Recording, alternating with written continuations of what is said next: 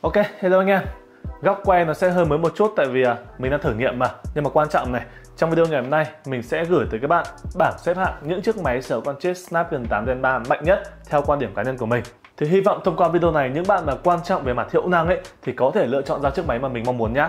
Bắt đầu thôi.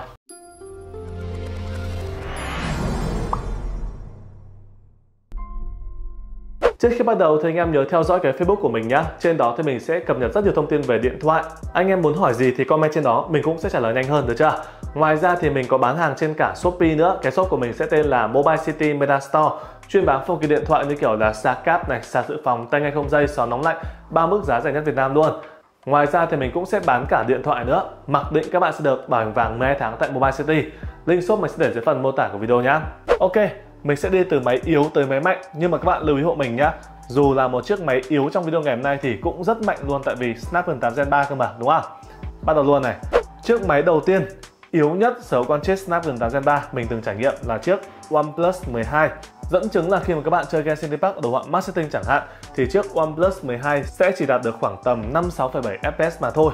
Và các bạn nhìn cái phần biểu đồ nhé ngay từ khi bắt đầu chơi cũng đã bị tụt giảm rất là nhiều rồi đúng không? Chưa cần chờ máy nắm đâu. Và đoạn cuối thì cũng đang có xuống, dốc xuống một chút. Với kết quả như này thì mình thấy nhá, chiếc OnePlus 12 chắc là chỉ ngang với cả một vài máy sử dụng con chip Snapdragon 8 Gen 2 mạnh như kiểu là Redmi K60 Pro, cùng lắm chỉ hơn một chút thôi.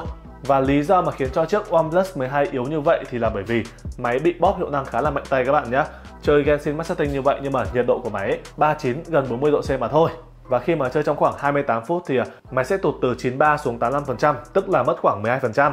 Ưu điểm của chiếc OnePlus 12 theo mình sẽ là về màn hình. Em này có màn hình 2K, màn hình cong hiển thị rất tốt nha, trong vắt luôn. Build của máy cũng rất ổn. Camera sau của máy cũng rất chất lượng các bạn nhé. Mỗi tội cam trước thì à, 30 fps và cộng với cả thương hiệu OnePlus thì dù sao cũng không quá phổ biến. Đã vậy, mức giá của chiếc OnePlus 12 thì lại cũng không rẻ luôn cơ.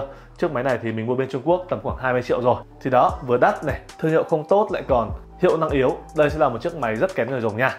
Đến với chiếc máy yếu thứ hai trong video ngày hôm nay sẽ là chiếc Xiaomi 14 cũng là tựa game Genshin Impact ở đồ họa Marketing. Máy đạt được kết quả là 57,2 FPS. Tuy nhiên các bạn lưu ý hộ mình nhé, trong quá trình chơi thì máy bị tụt giảm khá là nhiều và các bạn có thể cảm nhận rõ là máy thường xuyên bị giật nha. Đấy, tức là nhìn FPS có thể là hơi ok nhưng mà trong quá trình chơi nó sẽ hơi khó chịu, kiểu nó hay bị khương khượng ấy rất khó hiểu luôn và khi mà chơi game nặng như vậy thì à, máy cũng khá nóng rồi nha lên tới 46,4 độ C chơi trong khoảng 20 phút thì à, máy sẽ tụt mất 10% pin một con số ok chấp nhận được Tại sao chiếc máy này yếu thì cũng đơn giản thôi. Xiaomi 14 là một chiếc máy rất là nhỏ gọn các bạn nhé. Nó không khác nhiều so với cả chiếc Xiaomi 13. Màn hình vẫn thế này, tổng thể khung viền cũng giống nhau.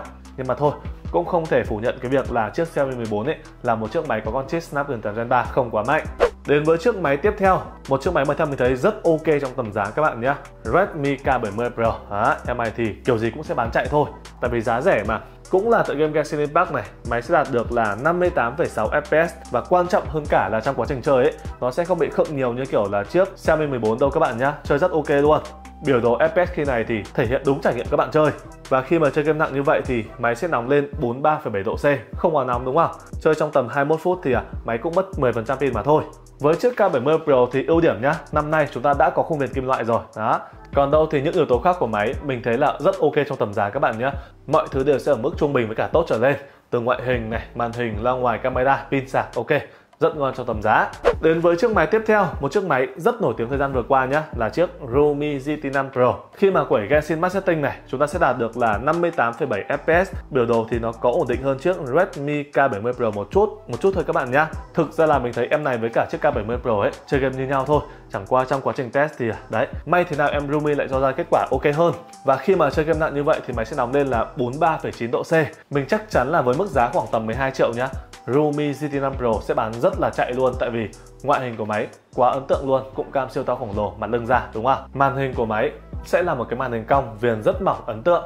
Camera phía sau cực kỳ chất lượng luôn, chụp đẹp luôn. Mỗi tội cái phần cam trước thì hơi tèo các bạn nhé, quay 30 fps nhưng mà thực sự trong tầm giá 12 triệu thì em phải vô địch luôn. Đến với chiếc máy tiếp theo, Xiaomi 14 Pro. Đấy, năm nay thì em này chiến game rất ngon các bạn nhé quẩy Genshin Max Setting chứ gì 59,4 FPS biểu đồ rất ngon luôn đúng nào và khi mà chơi game nặng như vậy thì à, máy sẽ nòng lên 46,1 độ C chơi trong tầm 30 phút ấy máy sẽ tụt từ 84 xuống 71 phần trăm Điểm mà mình ấn tượng trên chiếc Xiaomi 14 Pro sẽ là về khoản màn hình nha. Chúng ta sẽ có một cái màn hình cong cả bốn phía luôn và nó sẽ chỉ cong nhẹ 2,5D mà thôi. Nhìn vừa sướng mắt này, cộng với cả cái khoản cảm ứng ở viền ấy cũng sẽ không bị chạm nhầm nha, rất là ok. Những trang bị còn lại cũng rất tốt trong tầm giá. Hai loa pin trâu sạc nhanh, cam trước cam sau đều ok. Vấn đề của chiếc Xiaomi 14 Pro ấy theo mình sẽ là về giá mà thôi. Hy vọng khi mà hàng về tại Việt Nam thì à, giá sẽ dễ tiếp cận một chút. Rồi, đến với một chiếc máy mạnh thứ nhì trong video ngày hôm nay nhá. Tức là top 2 ấy sẽ là chiếc Nubia Z60 Ultra. Đấy, cũng về tới Mobile City. Một chiếc máy thiên nhiều về camera nhưng mà lại chiến game mạnh, ảo nhỉ. Khi mà quẩy Genshin Max Setting này, FPS trung bình sẽ là 58,9 FPS. Mình biết con số này thì à, thấp hơn so với cả chiếc Xiaomi 14 Pro, nhưng mà các bạn nhìn vào cái phần biểu đồ nhá. Chiếc Z60 Ultra ấy, nó thẳng với cả ổn định hơn rất là nhiều đúng không nào? Nó đúng là chất của Red Magic luôn, luôn cố định ở khoảng 60 với cả 61, thi thoảng bị tụt xuống mà thôi. Ngoài ra thì trải nghiệm chơi game trên chiếc máy này rất là sướng tại vì à, màn hình của nó chính là màn của chiếc Red Magic 8 Pro các bạn nha. 4 viền mỏng cân đối này, 4 góc không bao cong nhiều, màn hình full view không khiếm khuyết, tốc độ cảm ứng lên tới 960Hz, vuốt rất là mượt luôn, chơi game cực kỳ phê. Hai loa hay, pin trâu. Để mà nói về chơi game ấy thì chiếc máy này sẽ chỉ thua top 1 mà thôi là chiếc Red Magic 9 Pro. Đây, với chiếc Red Magic 9 Pro thì khi mà quẩy Genshin Max Setting đi, thậm chí là mình có quay thêm màn hình nhá, cộng với cả cắm sạc từ PC vào nhưng mà FPS chưa gì? Chỉ là 59,6 thôi. Đấy dã man nó thẳng tắp chơi cực kỳ là sướng. Và nhiệt độ của máy thì có nóng nhưng mà không quá khó chịu các bạn nhá chỉ tầm 45 độ C mà thôi. Thì đó màn hình em này thì cũng khá giống so với cả chiếc Z60 Ultra quá tuyệt vời rồi hai loa thậm chí hay hơn nha và quan trọng là với chiếc Red Magic 9 Pro ấy, các bạn sẽ có thêm hai phím trigger cảm ứng. Đó, ngoài chơi Genshin ra thì à, chơi những tựa game bắn súng ấy, nó sẽ sướng hơn rất là nhiều. Pin cũng sẽ cho hơn nữa 6 rưỡi cơ mà. Và đấy, quan trọng nhất, với sự hỗ trợ của một cái quạt bên trong thì hiệu năng của Red Magic 9 Pro ấy, xứng đáng là chiếc máy mạnh nhất thế giới. Ok, vừa xong là bảng xếp hạng của mình về những chiếc máy sở hữu con chip Snapdragon 8 Gen 3 từ yếu tới mạnh. Vậy thì các bạn thấy sao về bảng xếp hạng này? Có đồng ý với quan điểm của mình hay không? Hãy để lại comment phía bên dưới nhé. Và link mua tất cả các máy trên mình sẽ để dưới phần mô tả cũng như bình luận game của video. Giờ xin chào, bye.